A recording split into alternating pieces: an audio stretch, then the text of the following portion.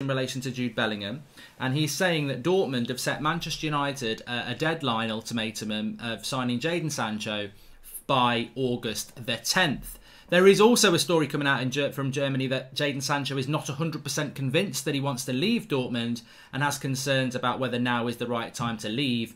And um, I think a big. I, will talk about that in a minute. But let's get off with the ultimatum. The exciting thing about this ultimatum is, and I'm going to speak to my guy hopefully to this afternoon, maybe tomorrow morning.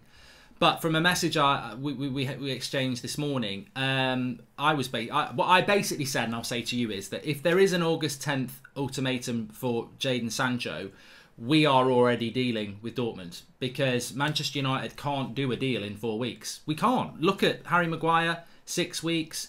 Um, Wan-Bissaka, six weeks. Uh, Bruno Fernandes, well, the transfer window in January was four weeks, but I presume we were dealing with them for a couple of weeks before that. So, you know, this is almost like this is the time that United are going to start negotiating, and it's quite interesting. I think Dortmund are setting.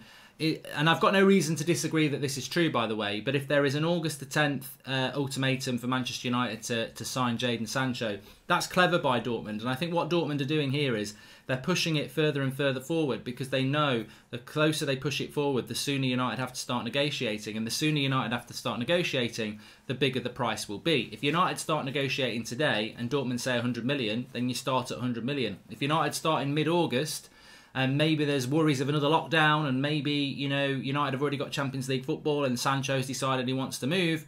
Maybe that price is closer to 80 million. So, uh, what, we're in negotiations with Dortmund now. Do not do not. One of two things are going to happen here.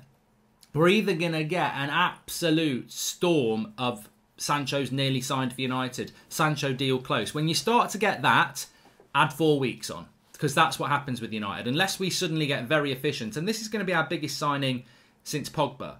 So look at how long the Pogba deal lasted. You know, and also remember, United take so long on deals, they will suck a lot of the joy out, out of it. They're like a vampire when it comes to um, transfers. They will suck the blood out of the deal, um, and then it will happen. So I don't believe this ultimatum. Um, I, I, I, well, no, let me be fair. I do believe uh, the ultimatum, but I don't think that don't think it's going to be relevant. I think Dortmund are for, trying to force Manchester United into negotiating because I tell you what, if we start negotiating today, it might not happen till August the 10th. We know what happens with Manchester United. So it's encouraging. Um, and look, I'll speak to my guy today. Maybe later on we'll have something to say. But um, if that August the 10th ultimatum is true, United would have to be negotiating now because it's four weeks. And United take four to six weeks to do it.